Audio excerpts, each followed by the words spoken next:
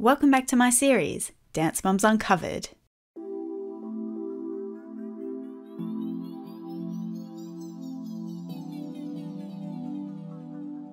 We're all well aware that some cast members have gotten very entangled with illegal activities and court hearings. But it would surprise you to know just how many legal loopholes were exploited in the making of this show. Because there was more to the show's legal issues than the producers cared to show. Feel free to share your thoughts on the following evidence. First, let's look at lawsuit threats. Recently, the mums have discussed why they couldn't always get away from the drama on the show. Holly explained how they got into their contracts in the first place, confirming what others have claimed in the past.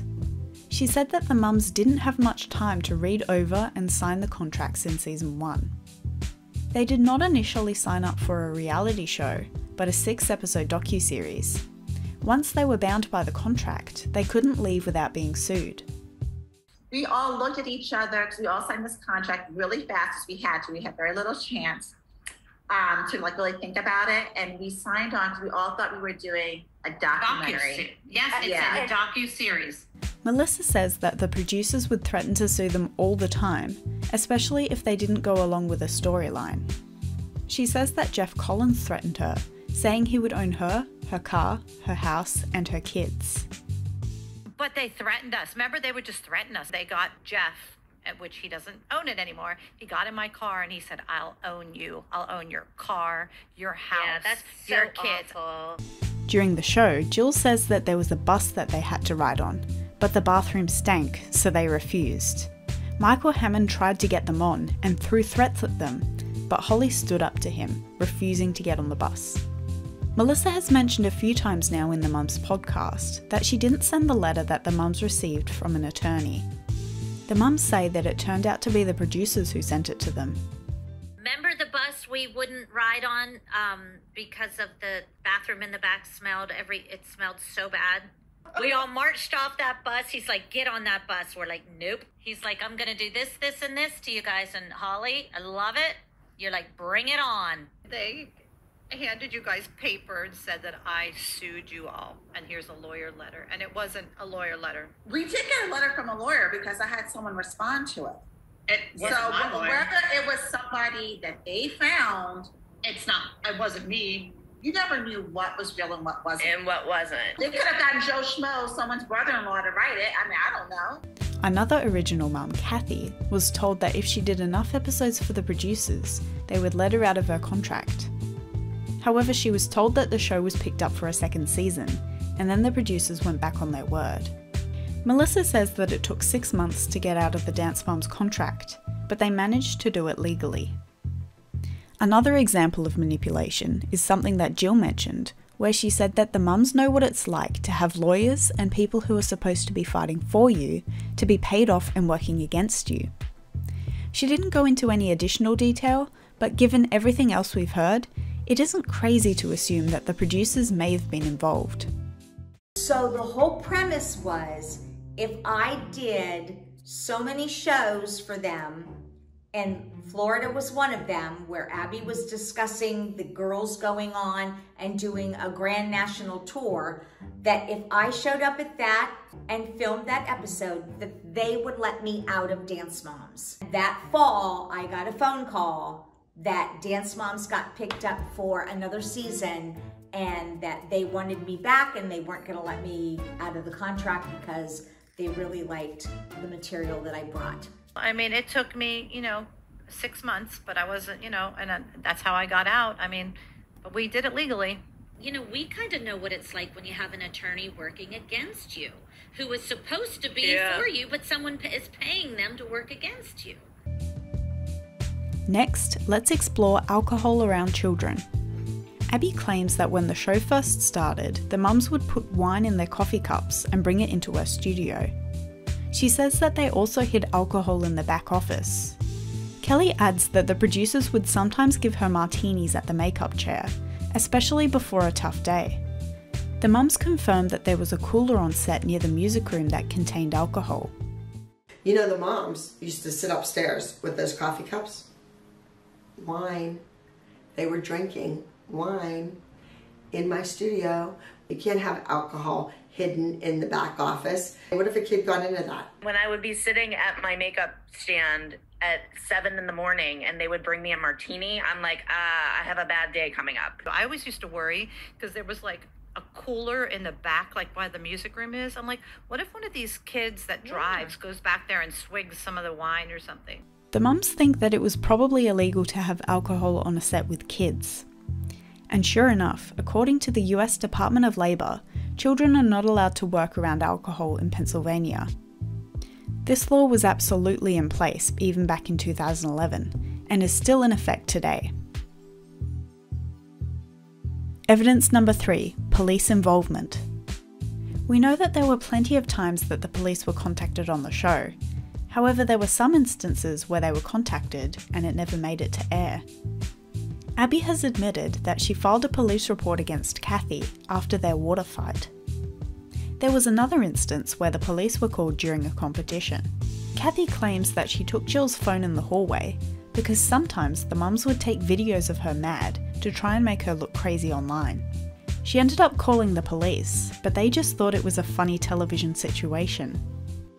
I went to the police station and filed a report against you after that. Did you really? I grabbed her phone Yeah, I remember. because they were notorious for, you know, the whole point of the show was to cause drama.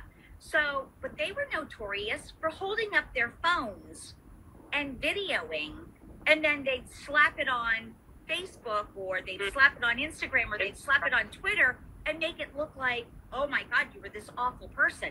They called the police on us. And we were howling because the police were howling too. Because they were like, okay, this is a TV show. Like, what are we going to do here? 4. Money matters. It isn't surprising that Abby's had the most to say about the ways that the producers would pay the cast members for the show. She has revealed that the cast don't get residuals from being on reality TV because it falls under the category of news content. We don't get residuals because reality TV, it's considered news.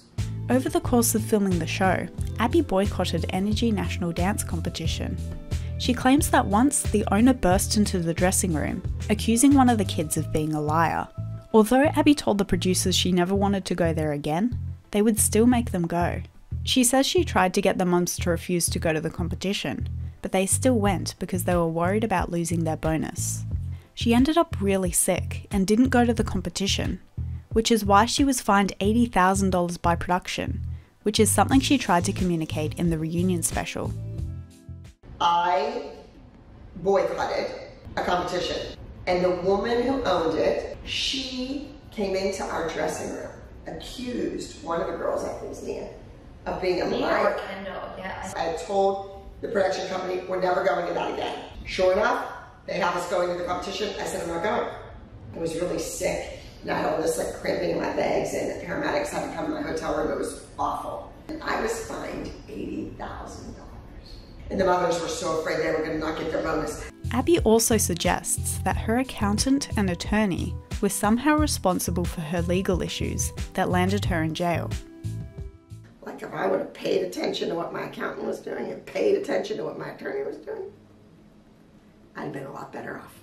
A lot of people assume that Abby was only put in jail because of the money she snuck into the US from Australia. However, according to court documents, there were several other things that Abby did to conceal her income that she would have been caught for doing anyway.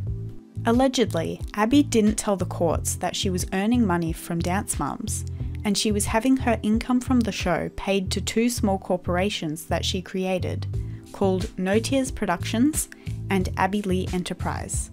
She did this to avoid having to pay back the debts that she owed to various financial institutions after going bankrupt in 2010. She even got the producers to hold her money for her or to pay large amounts to her mother's account so that the money in her account wouldn't go up and she wouldn't have to pay back the people she owes money to. And the documents accuse Abby of doing this on purpose because of some of the emails that she had sent.